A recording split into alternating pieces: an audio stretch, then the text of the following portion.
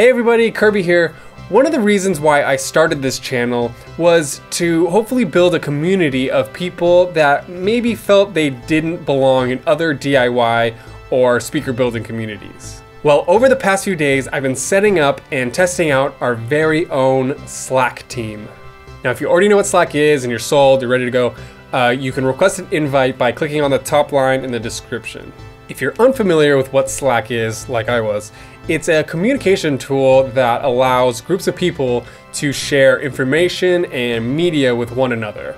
It's kind of like the mix between a forum and an instant messenger.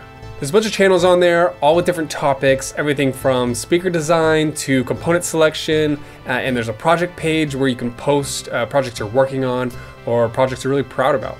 My main goal for this community is that it's a safe place that fosters learning and curiosity.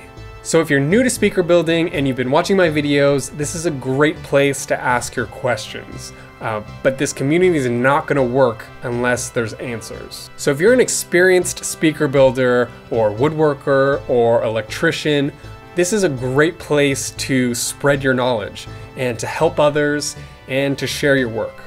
So if you're interested in joining the community, hit the link in the top of the description and I'll see you there.